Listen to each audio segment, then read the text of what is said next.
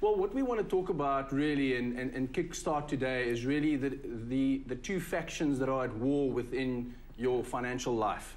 And these are the aspects that are either eroding your wealth strategy or they're building your wealth strategy. And those are the things that we really want to pin down on in a first conversation and really then explore from there on to make sure that you're not being eaten up by those free radicals. Okay, well, let's do bad news first. I like that, by the way, free Yes. radicals. Free radicals are bad, antioxidants are good, so Yes. free radicals first, Warren. Well, the free radicals, we're talking there about, you know, 30% of people who actually have a last will and testament actually sign the last will and testament.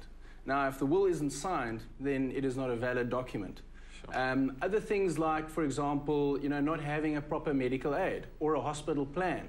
It's uh, equated to not having car insurance and driving on, a, on, on, on the road without having appropriate insurance.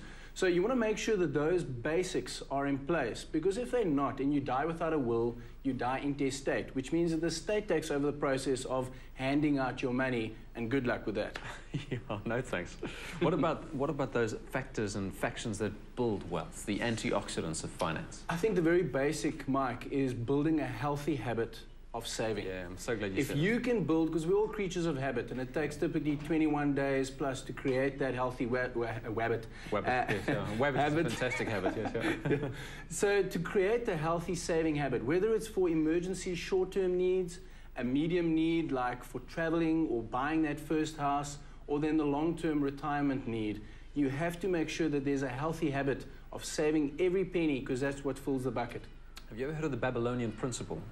70% of your wealth you use to live on, 10% you invest, 10% you save, 10% you give away. Would you buy into something like that? Absolutely.